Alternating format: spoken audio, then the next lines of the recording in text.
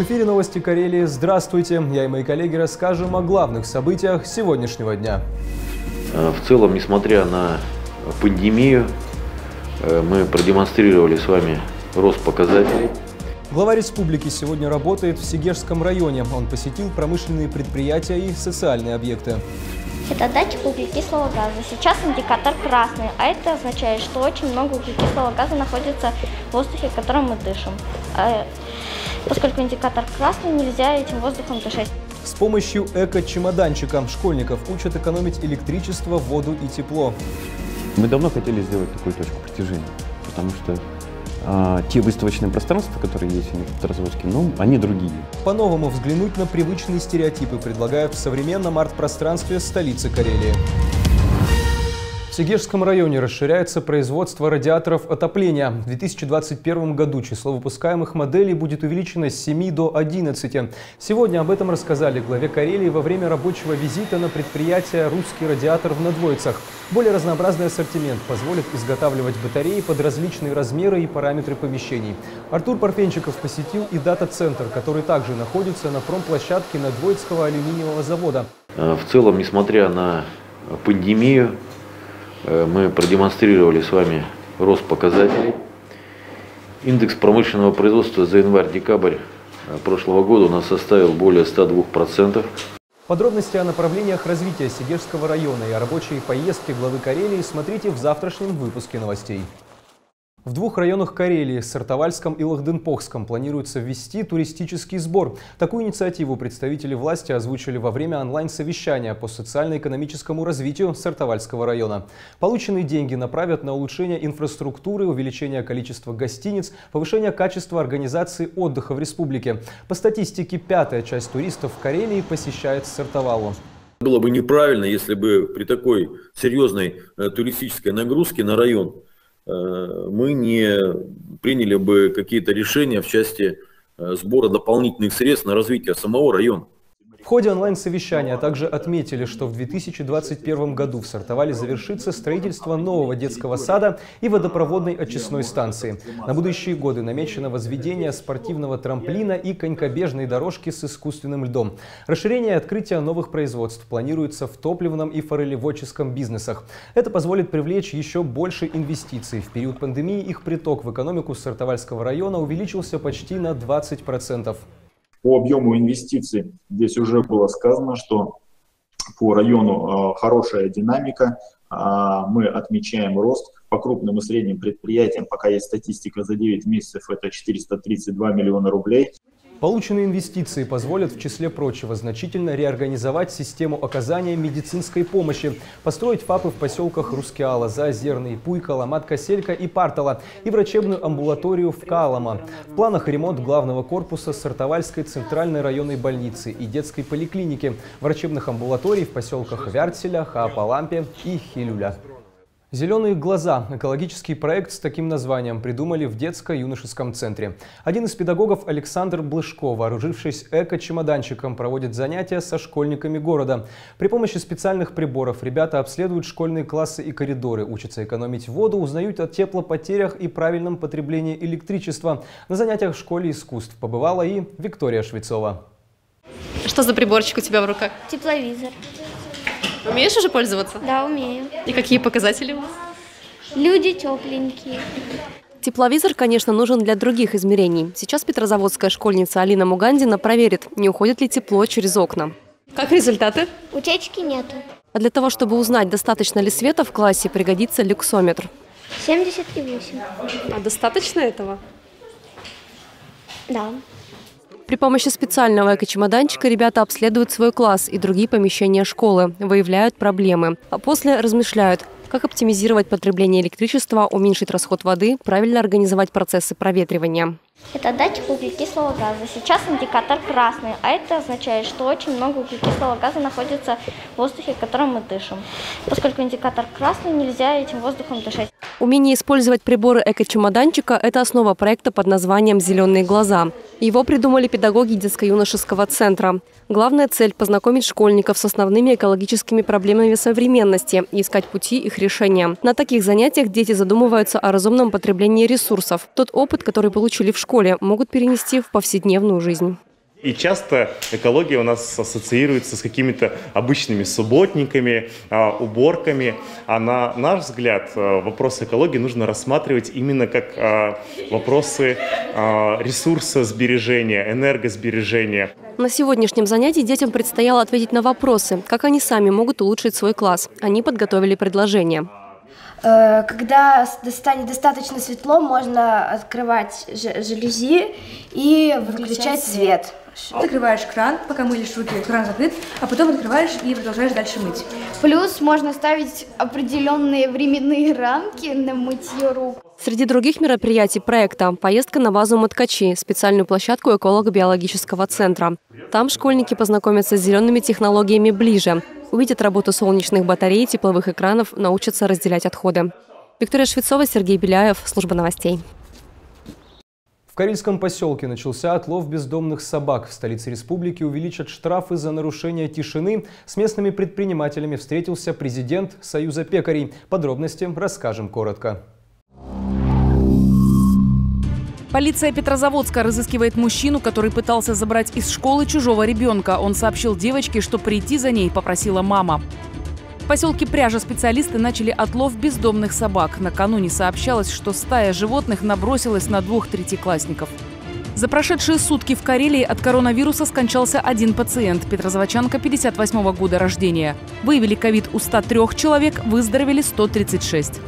С 2 до 5 тысяч рублей может увеличиться максимальный размер штрафов за нарушение тишины и покоя граждан. Соответствующий законопроект одобрили в первом чтении депутаты Карельского парламента.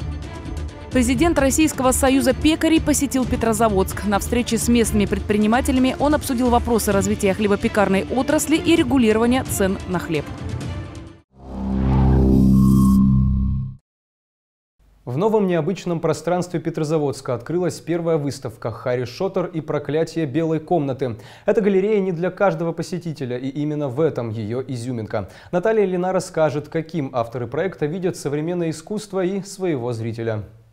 Творческие люди, как и пространство Longard Gallery, требуют к себе соответствующего подхода. Решили мы и отодвинули на задний план некоторые традиционные представления об интервью с владельцем галереи. Собственно, как и московские кураторы выставки, авторы всех представленных здесь арт-объектов Елена Шевелева и Эдуард Крылов решили обыграть тему стереотипов современного искусства и показать, что в итоге получилось. Вместе со зрителем поразмышлять над этим и даже посмеяться. Мы давно хотели сделать такую точку притяжения потому что э, те выставочные пространства, которые есть в Петрозаводске, ну, они другие, да, то есть мы, мы хотим немножко быть о другом, то есть независимыми, баловаться, развлекаться, и нам никто по шапке за это не даст. Все начинается уже с названия «Харри Шоттер и проклятие белой комнаты» и отсылкой к известному фильму, основное действие которого разворачивалось в туалетной комнате. Там все зашифровано кураторами и про белую комнату, тайна белой комнаты. То есть мы привыкли а, что все выставочные пространства, они находятся в белом кубе. То есть белая комната, все стерильно, все чисто, и мы немножко обыгрываем эту тему и хулиганим. Так мусор или куча земли в выставочном пространстве авторы превратили в настоящие экспонаты, подобно тому, как это делал в своем искусстве гениальный новатор первой половины 20-го столетия Марсель Дюшан. Многие художники, опять-таки, работают с мусором. И очень часто на выставках бывает, когда во время уборки помещения в работу выкидывают и у нас произошла та же самая история. Я от этого вообще кайфовал. То есть, ну, это самое крутое, что могло произойти. А вот это, это... А, это кайф. Здесь есть возможность человека, у зрителя подумать, а что же, давайте поиграем. Что это такое? Что ты видишь? Прием психолога, да? Mm-hmm. Вот, и очень много художников сейчас до сих пор, они вот с такими вещами балуются. То есть и мы опять-таки затронули эту тему. Игра со смыслами, формами, провокация, переворачивание привычного восприятия – средства выражения авторов современного искусства, их язык. Насколько мы восприимчивы к такого рода общению, решать нам самим. Впрочем, главная цель, которую преследовали создатели выставки, чтобы зритель получил эмоции и не оставался равнодушным. Наталья Ильина, Максим Зверев, Служба новостей. В Карелии благодаря сотрудничеству России и Финляндии появились новые технические возможности для звукозаписи симфонических оркестров и онлайн-трансляций. В результате развития партнерской сети проекта «Большая музыка для малых городов», которая реализуется в рамках программы приграничного сотрудничества России с Карелия, Петрозаводске открылся съемочный павильон, аналогов которому в регионах России пока нет. О техническом оснащении и о планах на будущее участники и партнеры проекта рассказали на пресс-конференции. С подробностями Юлия Степанова. Показать, что сотрудничество в искусстве может сделать небольшой город центром притяжения, а культурные инициативы принесут конкретную практическую пользу для развития территории. И есть миссия проекта «Большая музыка для малых городов». Несмотря на пандемию, весь 2020 год международная команда активно работала по обе стороны российско-финской границы, и на традиционном зимнем фестивале в Йоэнсу прозвучали новые симфонические произведения, в том числе и в исполнении оркестра Карельской государственной филармонии в онлайн-формате супер нужно и супер интересно для нас. Это оказалось ступенькой в развитии нашего учреждения и ступенькой, безусловно, в развитии сотрудничества. Провести онлайн-трансляцию концерта возможно только при наличии профессиональной техники, персонала и пространства. Так в Петрозаводске появился специальный павильон. Его возвели всего за полтора месяца. Данный павильон представляет собой полный трансформер. Полное э, преобразование техническое возможно, возможно работать с большими декорациями, вплоть до заезда в павильон техники. Съемки кино и телепередач, музыкальных клипов и спектаклей, деловых мероприятий и концертов. Все это возможно благодаря техническому оснащению и профессиональному коллективу площадки. К примеру, в трансляции симфонического концерта 28 февраля было задействовано 10 человек. Специалист по трансляции, режиссер, звукорежиссер, видеооператоры и художник по свету. Мы всегда стараемся, естественно, сделать э, свою работу так, чтобы там, трансляция это или живой концерт, или что-то, чтобы все было идеально.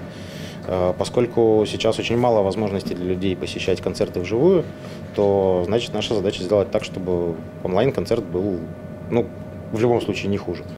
Тем временем на сцене павильона выступил оркестр Карельской филармонии из 70 человек. Площадок такого размера в карельской столице еще не было. А это при необходимости может вместить и максимальный состав оркестра – 88 музыкантов.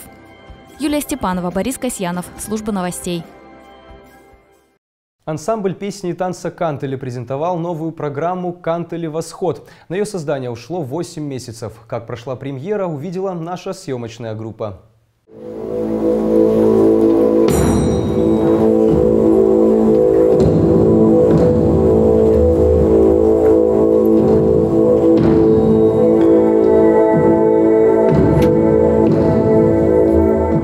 Особенность нашей программы новой состоит в том, что артисты для себя очень много нового постигли и открыли, и совершенно с новых каких-то сторон сами на себя посмотрели, поскольку вокалисты у нас прекрасно затанцевали.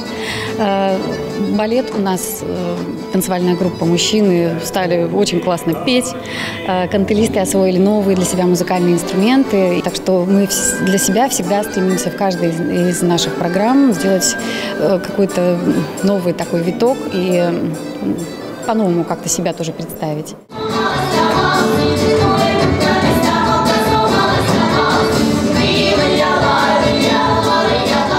Рассказать этой программе любому абсолютно зрителю, я думаю, что очень многие найдут э, в ней э, что-то новое, откроют для себя какие-то новые, э, новые вещи, новые знания, может быть, даже.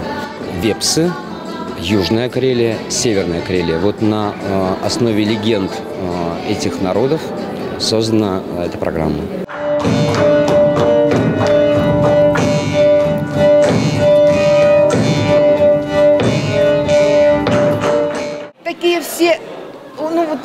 Улыбаются, все танцуют с душой. Это вот э, смотреть прямо одно удовольствие. Прямо хочется самим встать и попрыгать вместе с ребятами.